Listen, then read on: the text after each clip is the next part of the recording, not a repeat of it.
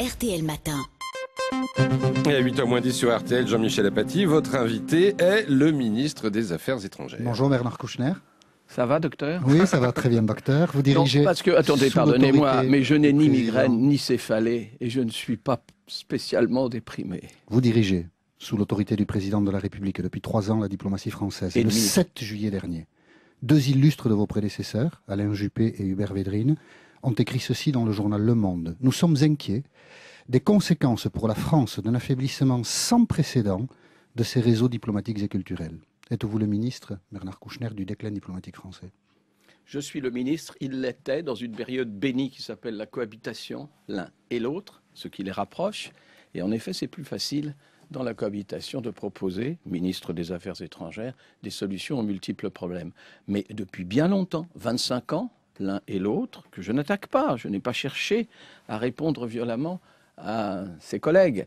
Depuis 25 ans, en effet, le ministère des Affaires étrangères consent à des sacrifices plus que tout autre. Il est plus que tout autre fidèle et il réduit ses moyens, on lui impose souvent, ce que nous poursuivons. Mais, Mais là- cette année, justement, pardonnez-moi. Tout le monde tire la sonnette d'alarme. Les Oui, c'est curieux, les anciens complot, secrétaires généraux, les anciens ministres des Oui, Affaires c'est étrangères. curieux. Sous eux Tous aussi. disent la même chose. Oui, eh ben, ils se trompent.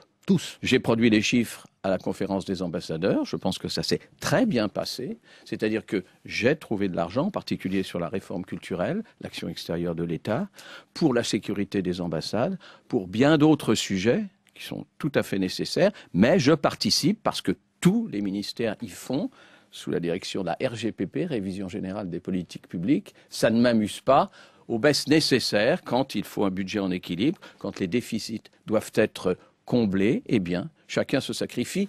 Le ministère des Affaires étrangères, moins que tout autre. On a demandé à tout le monde de remplacer De un départ à la retraite sur deux. Mhm. Moi, je n'en aurais à remplacer que même pas un sur cinq. C'est exceptionnellement bon pour ce ministère. Je pardonne à mes collègues, mais je crois que l'intention de nuire en général, et pas à moi, bien entendu, vous savez comme la politique est amène, eh bien non, vraiment, je refuse cela. Nous sortons de quatre jours avec les ambassadeurs et je crois qu'ils ont compris, approuvé ma démarche et surtout, c'est ce que je voulais, et c'est d'avant-hier, approuver la réforme culturelle qui fera que les moyens de la France à l'extérieur, cette représentation nécessaire, soient assurés. L'image de la France à l'étranger souffre-t-elle de l'expulsion des Roms opérée par le gouvernement cet été?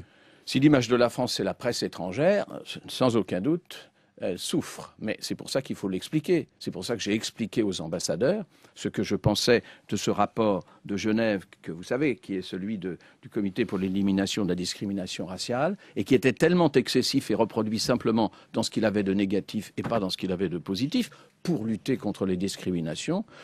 Si vous contemplez comment dirais-je, la provenance des experts qui se sont prononcés, la France n'a vraiment pas à rougir. La France, au contraire, est le premier pays d'asile européen, le deuxième au monde. Nous sommes passés devant les Canadiens, c'est-à-dire premier les États-Unis, deuxième la France. La C'est politique- pas parfait. Je suis pas content de ce qui s'est passé. De quoi? Les Roms, je m'en occupe depuis 25 De ans. quoi n'êtes-vous pas content, je ne suis pas content de cette polémique, de cette espèce de mayonnaise De la verbale. polémique. Polémique. Et de la politique. La politique, Vous je pense qu'elle est nécessaire. Quelle politique? Vous parlez des Roms ou vous parlez Oui, en général? Des Roms. des Roms. Eh bien, monsieur, je pense que d'abord, il est nécessaire de faire respecter la loi. Ça ne m'amuse pas non plus, ça me serre le cœur. Je m'en occupe depuis 25 ans, c'est comme ça. La différence, c'est qu'il y a 25 ans, la Roumanie et la Bulgarie et d'autres pays n'étaient pas dans l'Union européenne. Et même le mur de Berlin n'était pas tombé. Maintenant, l'Europe existe. Chacun est responsable de l'intégration de ses populations. Et vraiment, ça me fend le cœur de voir, pas seulement les Roms, mais beaucoup d'autres, mais les Roms en particulier, être malmenés, être exploités, des enfants qui sont drogués pour paraître euh, malades et apitoyer les populations. Il y a une vraie comment dirais-je, une oppression et même une esclavagisation de ces populations. Ça, ça m'amuse pas du tout. Comment faire pour y remédier? En démissionnant, j'y ai pensé.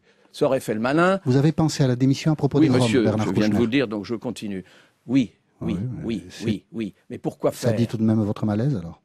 Oui, mais mon malaise s'est heurté à la réalité. Nous sommes, depuis quatre ans, enfin trois ans et demi, vous l'avez dit, Et en particulier, nous avons été les premiers, sous présidence française de l'Union européenne, à demander une réunion sur les Roms à Bruxelles. Ça n'a pas intéressé grand monde, ça a intéressé. Et puis une autre à Madrid que Pierre Lelouch a assuré. Pierre Lelouch est mon secrétaire d'État, il s'occupe de cette affaire. Il arrive déjà de deux voyages en Roumanie. J'en avais fait deux, il y retourne, j'y retourne aussi. Nous voulons qu'avec l'argent de l'Europe, presque 20 milliards, et encore, on peut compter plus large, dont 1% a été dépensé. 20 milliards pour l'intégration, 1% dépensé. Nous voudrions que les Roms chez eux ne soient pas sujets, disons, aux mauvaises intentions. Vous savez. C'est la première fois, si je peux me permettre, depuis que vous êtes ministre des Affaires étrangères, que vous confessez avoir songé à démissionner. Pour... Euh, Profondément, oui, oui, oui. Enfin, ça dépend. ça dépend. Il y a eu d'autres. Qu'est-ce qui vous a retenu de le faire? L'efficacité. Il faut absolument. Qu'est-ce que ça aurait fait pour les Roms?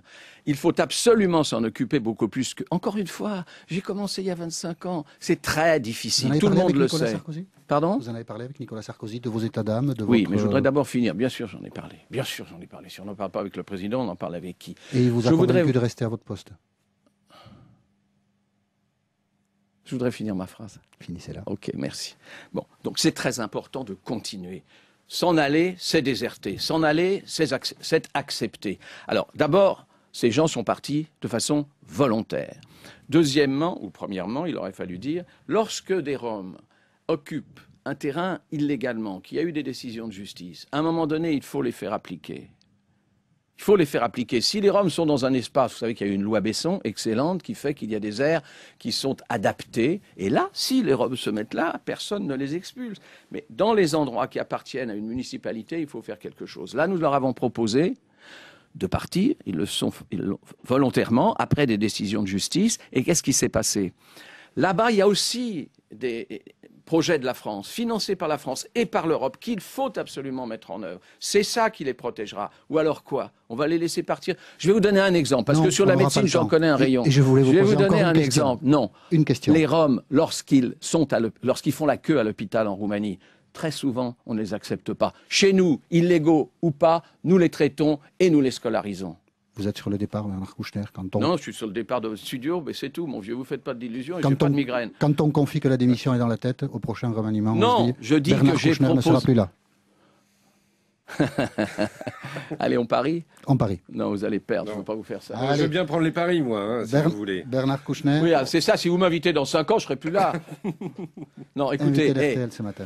monsieur Apathy, Oui. je vais bien, ne lisez pas les journaux, les complots. C'est vrai que ça fait exactement. Là, je vais être vous avez vu ma vous place dans les sondages, c'est pas pour Je vais être obligé de vous l'avez interrompre, vu Bernard Alors ça fait exactement, parce que le temps ça est exactement. 3 ans et demi qu'on dit que je pars tous les jours. Allez, on, terminé. on- on va, on va ranger notre armoire à pharmacie, on va ranger l'aspirine, et puis c'est vrai que parfois la parole est le meilleur des remèdes. C'était ce matin sur RTL Ah bah, avec vous. lui qui était malade alors.